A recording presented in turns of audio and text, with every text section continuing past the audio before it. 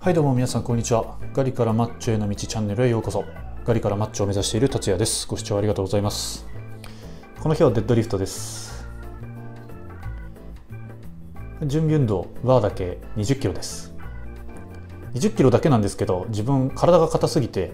あの今もうハムストリングスが限界までストレッチしてるっていう情けない状況です、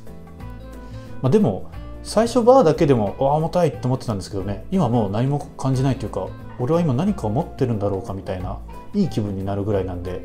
やっぱり自分の体がこうパワーアップしてるっていうかバージョンアップしてるっていうかそういう感覚になれるそういう感覚が楽しいっていう、まあ、トレーニングの醍醐味を感じますよね。こういう準備運動だけでも。これ50キロですね。自分重量設定自体はあのゴールドジムのトレーニングノート使ってるんですけどそこに重量早見表があってでそこに設定されてる重さであの合理的にあの重量を上げていくように今はしてます。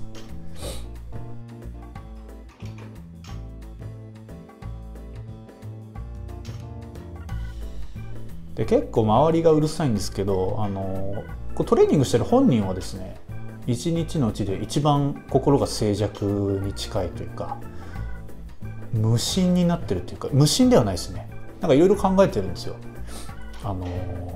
なんだろう。初恋の人は今何してるかなとかあのこの動画を親が見たらどう思うんだろうとかでも幸せの形は人それぞれだから俺が幸せならそれは親の幸せだよなとか結構哲学的なことを考えててあのなんだろうぶち上げてやるっていうのももちろんあるんですけどただそれは一発目床から引く時はそういう「この野郎おら!」今今ですね「この野郎おら!」なんですけどこっから先は「初恋の人今何してるかな?」とかそんな感じですね。結構その周りの音とかは全く気にならなくて一番なんか有意義な時間ここが人生の中で顔見ると結構ふーってなってますけど。なんでなんですかね頭に血流がいく量が増えるから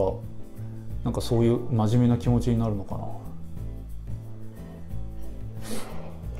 あ、面白いもんですよね。こう綺麗な女性に心が奪われるみたいにバーベルに今心が奪われていて。お前を持ち上げることで一緒に幸せになろうみたいな。そんな感じ。何何言ってんのほとんども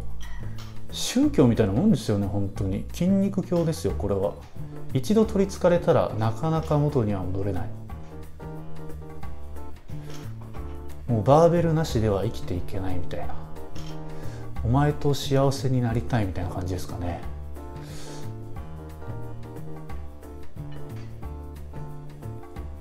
こう見ると足細キモ上半身は少しずつ良くなってるじゃ良くなってるけど足キモカモシカかよって感じですね。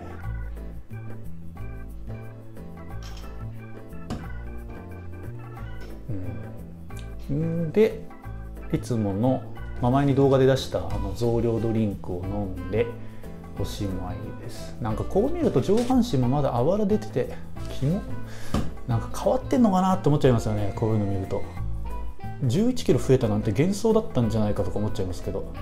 まあ一応本当なんで真実なんでこれからもこの道を信じて突き進むしかないです。ほんじゃまた。